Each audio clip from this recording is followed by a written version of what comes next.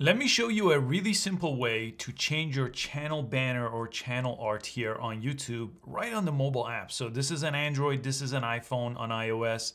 It works exactly the same. Let's go from scratch here. Open up the YouTube app, not YouTube Studio, but the regular YouTube app where you watch videos on, on any device here, and press your icon up here, your profile icon, press that.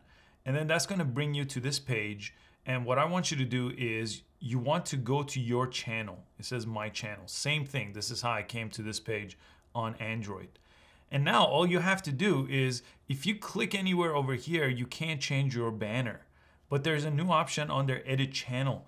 If you press edit channel on any device here, you'll see a new option where you could change your profile picture here, but you could change your banner image here too. Just press this option go ahead and upload a photo. I have videos on exactly how I make these, so watch one of those, I'll link it below.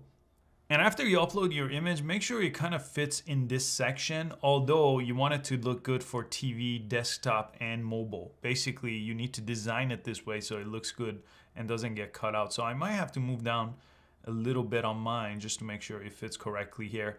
And then when you're happy with what you've designed here, just go ahead and press save right on top and it's gonna update your channel art or channel banner here on your accounts. Now, because I did it on my iPhone, it's already going to update here on my Android phone as well. So because it's account wide, it's already set up on your desktop, on TV, and anywhere that people use YouTube, they'll see this new channel banner on your channel here. I hope you found this video useful. Make sure you give it a thumbs up and I'll see you next time. Thanks for watching.